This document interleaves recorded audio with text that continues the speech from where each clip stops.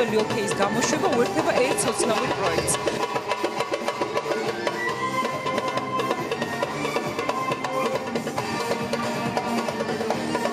ძალიან კარგად ჩაიარა ყველაფერმა, აგერ ხედავთ უამრავი ციგნია და რაც ყველაზე მეტად מחარებს არის მრავალფეროვანი არჩევანი, ესეც იყო მოსალოდნელი, იმიტომ რომ ბევრი სტუმარი გვეწვია.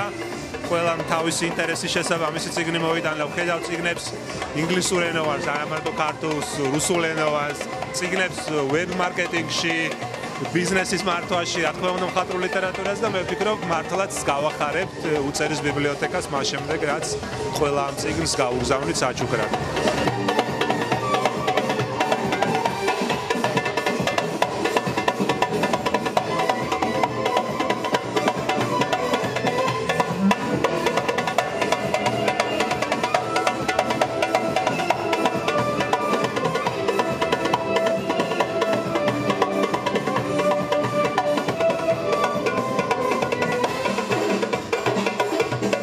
დღეს არის ძალიან კარგი დღე, უბრალო, მაგრამ მნიშვნელოვანი მიზეზის გამო, რომ ჟურნალი OK მოძრაობა ეკვილიბრიუმისთვის აგროვებს ციგნებს, კონკრეტულად სოფელი უწერა და მისი ბიბლიოთეკა განახლდება და ვფიქრობ, რომ ძალიან კარგი ამბავი იქნება ეს.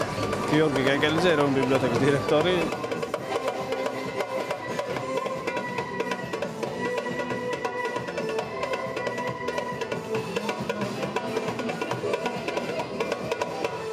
ძალიან მნიშვნელოვანია რომ ესეთი პატარა ნაბიჯებით თითო ციგნით თითო ძალისხმევით საბოლოო ჯამში ძალიან კეთილ და ძალიან დადებით საქმეს ვღებულობთ